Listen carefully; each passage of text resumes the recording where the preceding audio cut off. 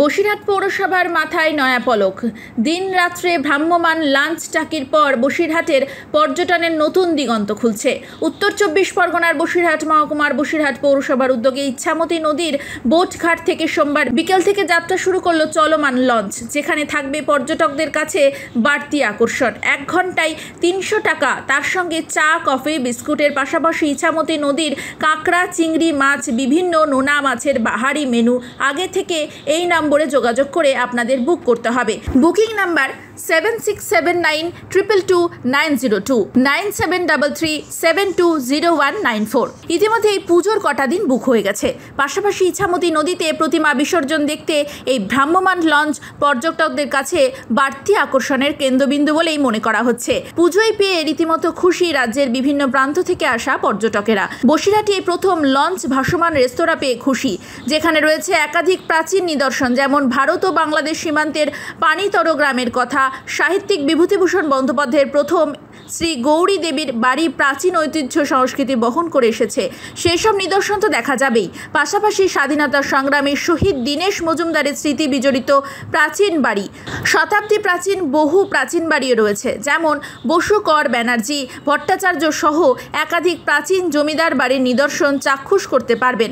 অন্যদিকে সংগ্রামপুরের সংগ্রাম সিংহের তৈরি করা পাঁচশো বছরের পুরনো কালীবাড়ি, অন্যদিকে বসিরহাটের প্রাচীন যেসব বাড়ি রয়েছে, সেগুলো নিজের চোখে চাক্ষুষ করে দেখে নিতেও পারবেন।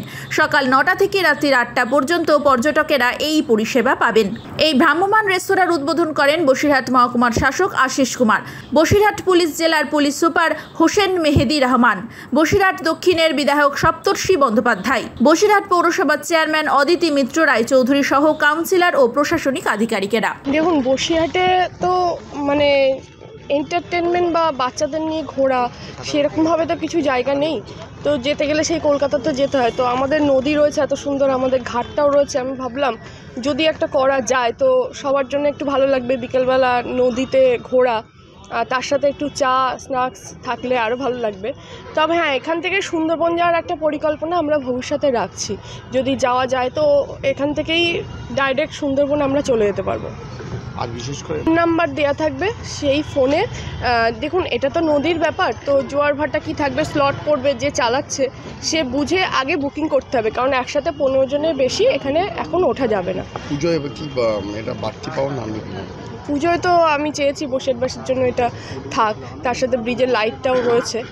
একটা কিছু করার চেষ্টা করেছি।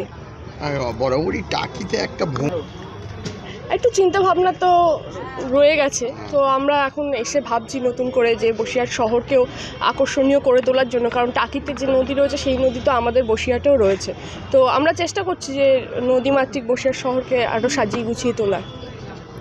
যারা যাবে একসাথেই বোটে উঠতে পারবে। এমনিতে পনেরো জনের বেশি উঠলে অসুবিধা হবে।